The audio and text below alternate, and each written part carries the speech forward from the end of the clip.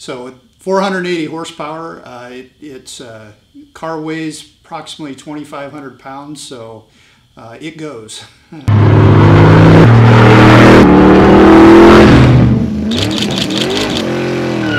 right, my name is Pete Ballentine, and my car is a 2015 Superlite Coupe.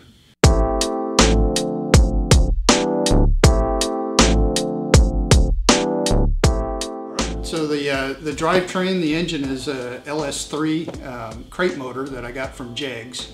Uh, it's a uh, they call it a LS uh, 376 480. Uh, it's the 480 horsepower uh, version of the LS3. Which to to get that to 480 horsepower, they put Chevy puts their hot cam So I got that from Jegs. The uh, the transaxle uh, is a Audi R8 and Lamborghini uh, Gallardo uh, transaxle. It's made by Graziano. Um, and I purchased that directly from Superlite. They've got a deal with the factory over in Italy that they uh, can get the transaxles and they sell them with a kit. And uh, clutch is an Audi R8 clutch, which that was quite a, a, sticker shock when I when I went to go buy that clutch because uh, you know I was thinking standard clutch is a couple hundred bucks. It was two thousand dollar clutch. All right. So uh, what one of the reasons I, I picked the SLC, uh, I, I, really liked the styling on the car. Uh, the other the other car I was looking at uh, was the Ultima GTR, and um, I, really like the way the Superlite uh, looks. I think it I think it's just a a better design overall um, than the than the Ultima. Uh, it was styled after uh, the 90s uh, uh, IMSA cars, uh, the LMP cars, was kind of the, the look that Superlite was going for. Um, and you can kind of see that. It, it looks a lot like a, a Le car. So some of the, the details on the exterior, the wheels are Forgestar F14s, they, which uh, they came with a kit. Uh, Superlite uh, allowed you to pick the wheels, um, any, any of the Forgestar wheels, uh, and they allowed you to pick the color. Uh, so I went with the uh, F14s in gunmetal gray. figured, didn't really know what color I was going to go with, so I figured the gunmetal gray would match anything I, I did. Um, and I, I think they're really good looking wheels. The finish on the car, I started, when I, when I bought it, it came in red gel coat, uh, which Superlite, had, they advertised that all you had to do is polish up the gel coat and you didn't have to paint it or anything. Well, that's not really the case. Um, after I got the car, it, it's it had a lot of mold lines on it from the from the molds, and once you sanded those mold lines down, uh, it was quite clear that the gel coat wasn't going to cut it. So for my, after I got it on the road, uh, I realized I needed to do a lot of body work and I wasn't going to get it all done uh, in the spring. And I didn't really want to miss the whole car show season. So I decided to Plastidip it uh, for the first uh, season that I, that I took it to the shows and everything. Um, so I did a got a car kit from uh, dipyourcar.com and uh, dipped it in flash color shift and black, and uh, I think it looked really good. Uh, I got a lot of comments on, on how good the, the car looked. A lot of people were really surprised that it was Plastidip and not paint.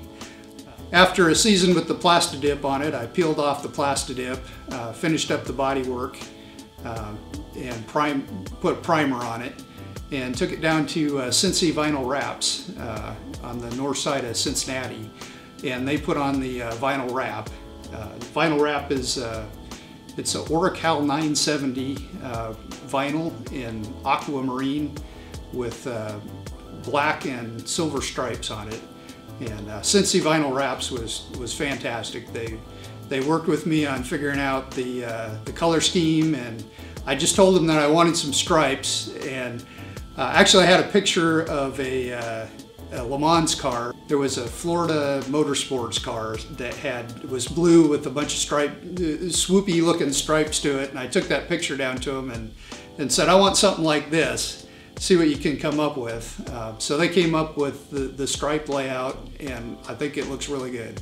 Um, Um, some of the other little things I've added on the exterior, uh, in the headlights, I added some uh, LED um, strip lights for the driving lights and the turn signals. Other things on the exterior, I've got uh, two cameras. Uh, I've got a long range uh, camera and a short range camera. Uh, those are really, the long range camera is basically my rear view mirror because there's there's no rear view, or there's no rear window. Uh, and I've got a monitor uh, in the in the cockpit so we can so I can see behind me. And then the short range camera is more of a backup camera. It's got a wide angle to it uh, helps me when I'm backing up. Really needed the two cameras because if you if you just go with the backup camera when you're driving down the highway, if if a car's behind you, like one car length behind you, and that backup camera, it looks like it's 30 feet away. Uh, and you can't really see anything a long way behind you, so you can't see that cop that's coming up behind you. the, the car is, is really unique, and, and so uh, it gets a lot of attention when driving it. Uh, kind of get the idea of what it must be like to be a celebrity because people are always pulling out their phones, taking pictures, taking video, um, pointing at the car. So it's uh, it, it draws a lot of attention, um, and they get a get a lot of interesting comments and questions about it. Uh, of course, the the number one question I get is, "What is it?"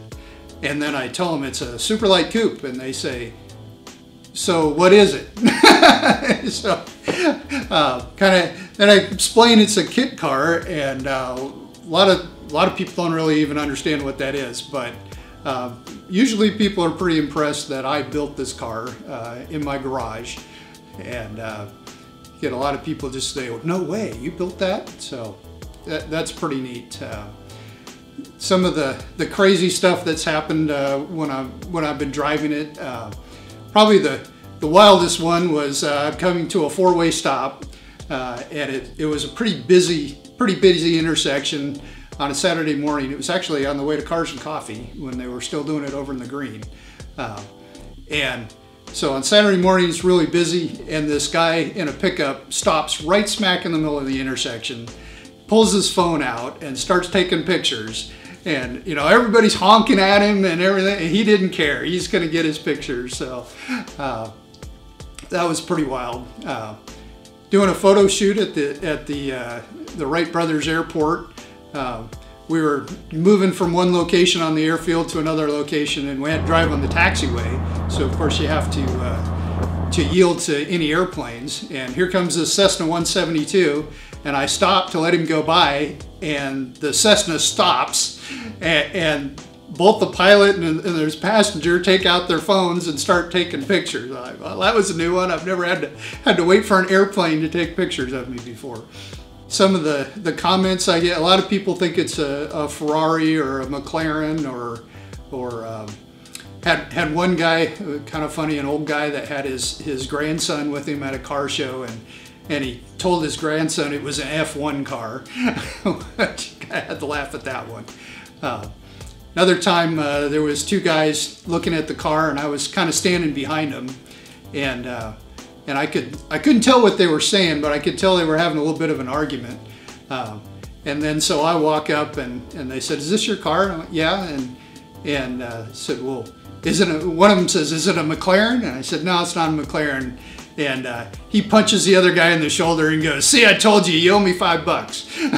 so stuff like that happens all the time. Um, so I, I, think that's probably the the uh, the coolest part of owning the car is just all the attention it gets. Uh,